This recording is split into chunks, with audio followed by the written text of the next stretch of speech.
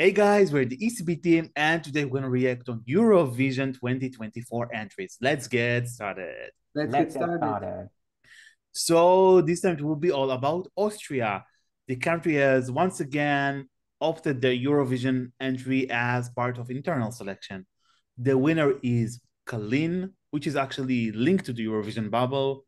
She was a backing uh, stage singer, at stand rehearsal, and also choreograph for some entries at Junior Eurovision and Eurovision. She will perform the song We Will Rave. And it's a kind of a techno pop alternative EDM song, I would call it. So let's see whether we will rave or not. Starting with Vani, please. Yeah, uh, I'll definitely rave to this one. Definitely.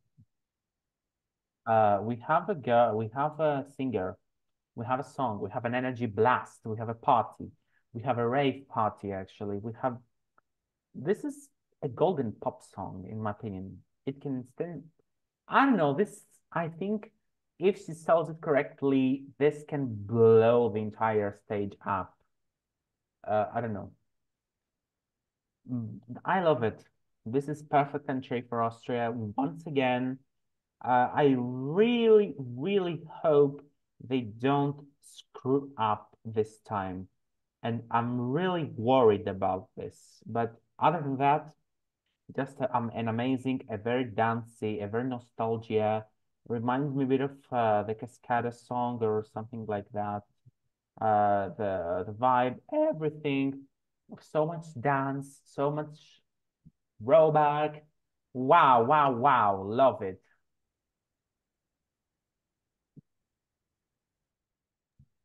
Awesome. Uh, George, please.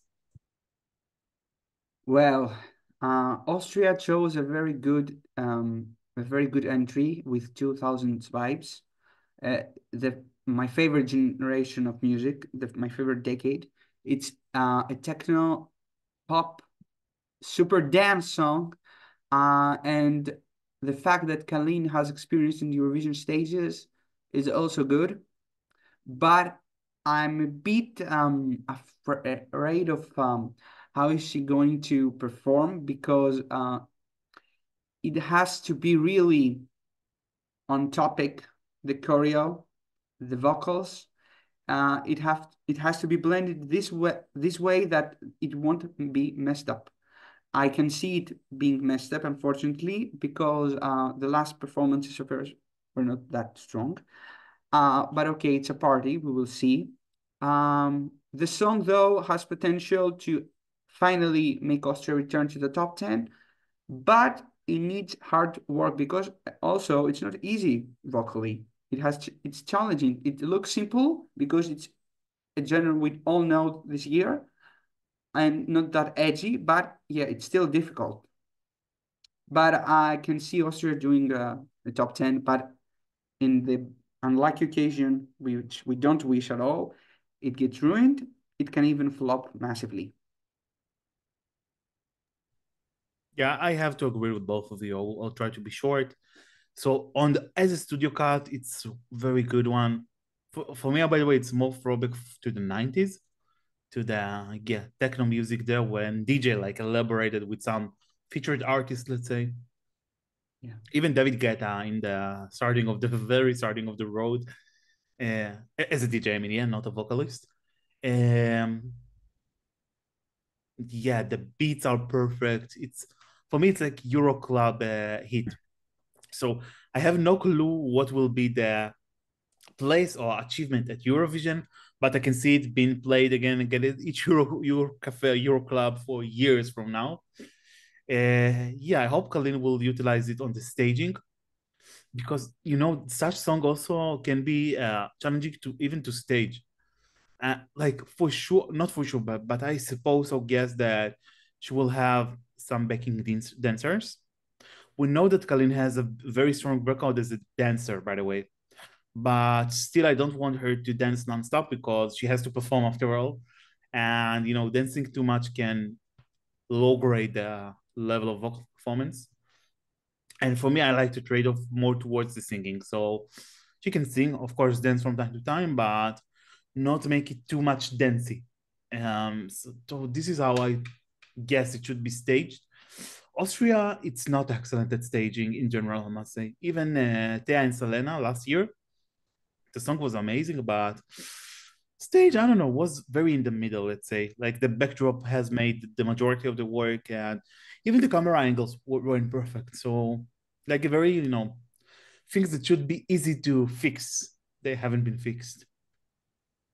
And I think it's one of the most open things to happen this year. I can see Austria, as you said, top 10, but I can see it even not qualifying. Yeah, that hard because, you know, if the vocal won't be on point or if staging won't be there, it might be skipped by some of the voters. But yeah, it has some very good basis to start with because it's a very contagious song. And, and you know, it's, it's a style like EDM in general, or techno.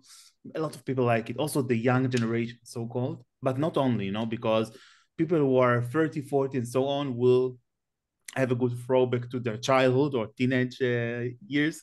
So probably they will vote for it. So the basis is there. Just let's hope it will uh, be sustainable for there. I'm not sure I'm a big fan of the lyrics, by the way.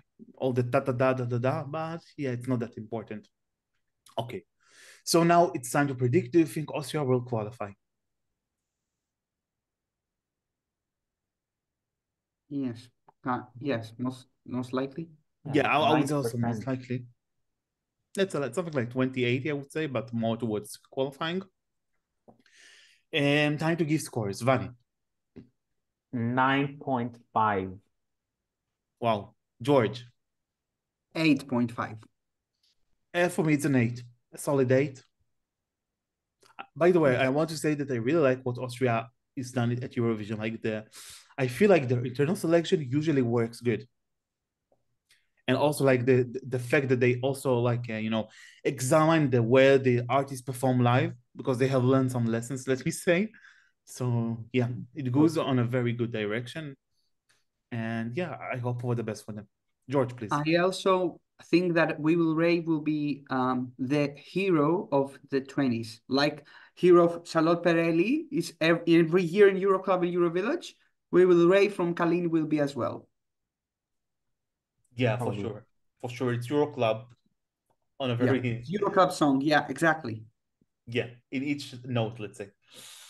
Okay, so Austria will perform semi-final two at position number six. Let's wish good luck to Kaleen and Austria at Eurovision 2024. Guys, tell us in the comments below what do you think about We Will Rave about the Austrian song. Don't forget to give us a like, subscribe to our channel right here below to make sure you're notified about each single video. And don't forget to visit us on escbeat.com, YouTube, Spotify, Instagram, Twitter, and basically everywhere. Thank you, watch. Thank you very much. Take care. Bye-bye. Bye. Bye.